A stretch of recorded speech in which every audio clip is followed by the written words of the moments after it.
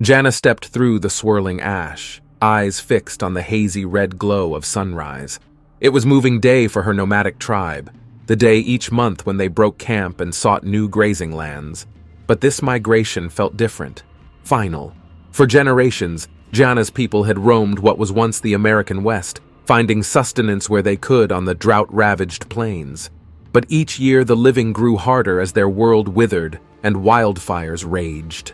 Jana glanced back at the 15 remaining souls under her care, their faces etched with hunger and exhaustion. She couldn't bear to watch the elders and children suffer much longer. Today they would finally seek salvation in the mythical metropolis of Hesperus, a utopian stronghold rumored to be rising from the ashes back east. Jana doubted such a place existed, but they were out of options.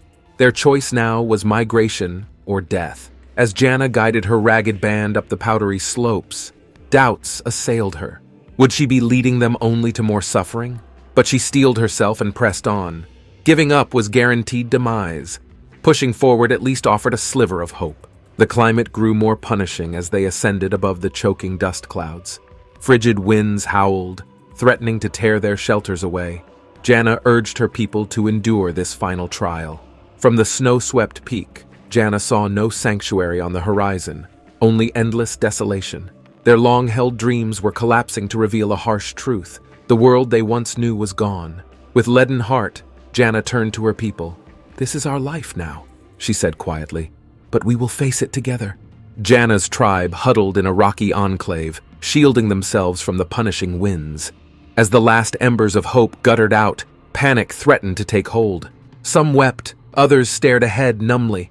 Only the young children seemed unaffected, playing with stones and nestling into their mother's arms.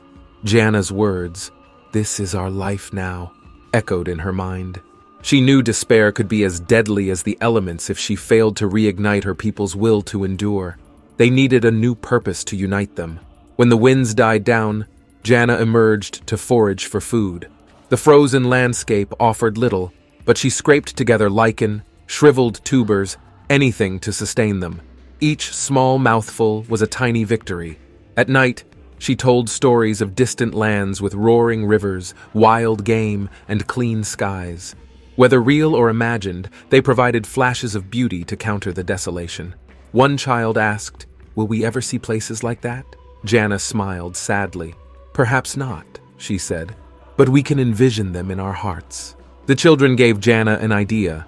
In the protected cave walls, she helped them paint vibrant scenes from her stories. The figments of better worlds kindled a spark of vitality among the tribe. When a teenage boy became seriously ill, the healers said he would not last the night. Jana sat with him, describing his favorite imagined landscape, a verdant valley of waterfalls and rainbows. As light faded from his eyes, she saw a smile touch his lips. Her stories had carried him somewhere beyond suffering.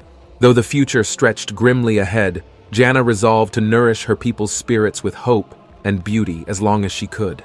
Their world was circumscribed now by rock and scarcity, but imagination and courage were boundless. These would be their salvation.